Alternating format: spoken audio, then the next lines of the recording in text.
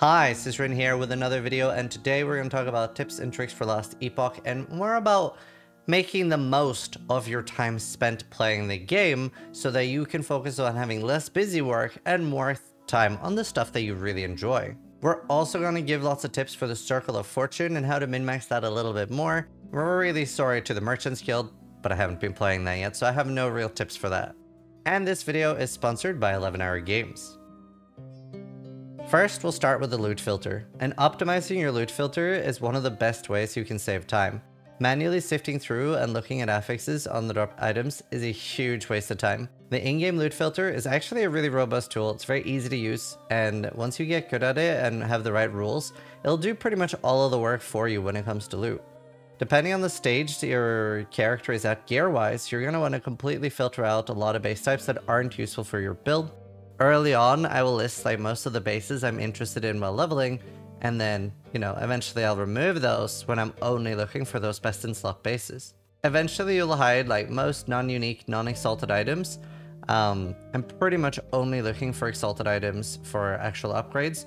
You want to do these things pretty much as soon as you hit empowered monoliths. If you're looking for a specific affix shard for your build, something you maybe not have picked up enough of, you can put that at the top of your loot filter and that'll override any of the rules listed below. And a bonus tip, if you tick the short option in the length of item names drop down, it'll make your screen a lot less cluttered when it looks at drops. Also remembering to like update your filter as you're starting to get more insane gear, and especially once you reach this tier of the uh, Circle of Fortune Guild, you are going to get an insane amount more of exalted things, you will actually start having to hide exalted gear. Using a dump tab. So for those of you that play Path of Exile, you might already be familiar with the concept of a dump tab, but is it necessary in Last Epoch? The short answer is yes. The more time you spend actively playing the game will always be more efficient, and more importantly, more fun. There's no need to spend all of those precious clicks shattering items and placing your loot in the specific tabs after fixing an echo. Leaving those tasks for when you're not playing or wanting to relax and loot induced serotonin increased break instead. So what is a dump tab? This will be the first stash that opens when you click your stash, and you will dump all the loot in your inventory to organize later. So I usually do that like when I've done with a session, I'm chilling, maybe watching a movie, or listening to something, or just not actively playing. Like I'm, I'm doing something that I don't need to be super focused on. So you do actually spend a lot less time and it might feel like it ends up taking longer, but I, I think most people, and uh, maybe we can get some veterans in the comments really um, speaking to how efficient a dump tab really can be, because it will save you a large amount of time. And there is no such thing as affinity system in Last Epoch. Hopefully that's something we'll get, but that obviously would alleviate the need for a dump tab a lot. Next up, we have the monolith and echo optimization. How do you actually progress your echoes and fill up timeline stability to spawn a boss faster? And how do you gain timeline corruption to get more rewards? Your goal in any given timeline is to progress as far from the starting island as possible. This increases the timeline stability, and also makes progress towards fighting a Shade of Orobyss, which is a mini-boss echo. Make sure to always kill the timeline boss before attempting a Shade of Orobyss, as that gives you extra corruption from the Gaze of Orobyss mechanic. Always rush the completion of Echo as uh, opposed to slaying every monster you see. This will ensure that your progress yields a lot more XP, more loot in general. Even for echoes that require you to slay enemies to find the objective, you're better off exploring more of the map, as you'll also find caches and exiled mages, which will give you a lot more loot. The only exception to this, especially early on hardcore, if you find a map that's very safe, clearing that can be really good, and honestly, if I find an Echo that just has an insane amount of pack size, or the monsters are just dropping a large amount of tier 6s and tier 7 early on, I will probably finish that map, because you will sometimes have a noticeable difference, and then they are worth clearing. Another thing that's nice for knowing what to prioritize and what to farm is this uh, infographic made by Window on Reddit.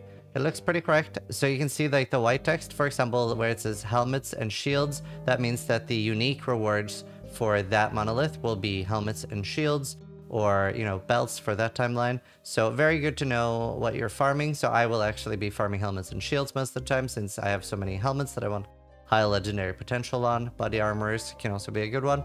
But the nodes you prioritize will depend on what you're currently hunting and which timeline you've chosen to run for its uh, exclusive rewards. However, I suggest also running Tomes of Experience reward echoes when you encounter them. The reason for that is they will actually give you a lot of favor and a lot of XP for your character. Avoid set items, key rewards, and gold rewards. They are awful. They're absolutely not worth it.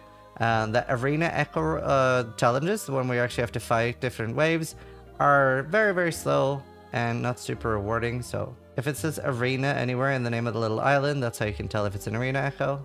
Gaining more corruption for your echoes is always better if your build can handle it. This obviously has very heavy drawbacks on hardcore, but otherwise it's always more betterer to run the highest corruption you can, as it gives more rewards in the form of more exalted items, more unique items. I'm pretty sure it also gives a higher chance of getting legendary potential on your items, seeing as as soon as I started doing 2 300 corruption, I always feel like I'm fighting more legendary potential, but I wouldn't swear by that. Now, for progressing your chosen faction, it's no secret that the higher rank you unlock, the more powerful features that you get. So we're going to be covering Circle of Fortune because that's what we have the most experience with. Make sure to always have prophecies relevant to your current chase. As an example, if you're looking for a new relic, target the Exalted Relic prophecies and always work towards completing your current ones and grabbing new ones when done. When it comes to lenses for your observatory telescopes, I suggest blocking out Arena entirely as soon as possible, followed by a regional lens to aid in finding your specific type of relics, and when you grab rank 9, you can grab the Lens of Wealth to double the reward for a little under double the favor cost. This will save you favor in the long run because you will be rerolling a few times, but you will be getting a lot more reward. Also, blocking out dungeons is really good as well. I don't really want to be in dungeons. I don't really want to spend time being there at all. There might be other optimized setups that work as well. For endgame crafting, your character will eventually reach a point where you want at least one exalted affix relevant for your build on each base, base item, with all the other affixes being tier 5. And maybe sometimes you'll be able to get a sealed item as well. The base type is very important in Last Epoch, as it can mean the difference between 32 armor or armor and 40% resist and crit multi. But how do you increase the chances of successfully forging the item you spent your precious time grinding for? One big tip is to seal one tier 3 and below to help the affix clearing off the affix slots, and increases your chance of hitting the rune of removal. I also recommend sealing an affix that is useful for your build but not one of your main stat priorities.